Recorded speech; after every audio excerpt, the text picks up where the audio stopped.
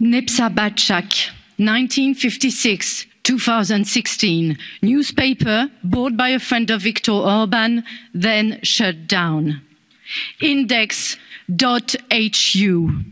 1995 2020, news website bought by a friend of Viktor Orban. Staff was fired or pushed to resign. They then created telex.hu. Club Radio, 1999 2021 radio frequency was not given by the government this year they went on internet.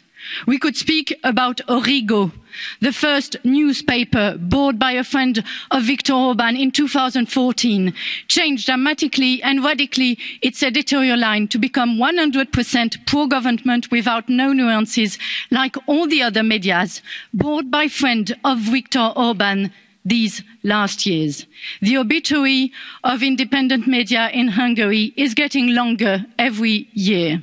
There are no arrests of journalists in that member state, but every means are being employed by the Fidesz government to suppress purely and simply media freedom and media pluralism.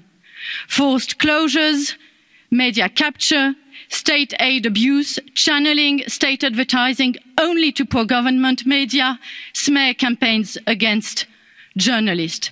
And the creation of a media council which regulates everything is totally non transparent and completely in the hands of the government.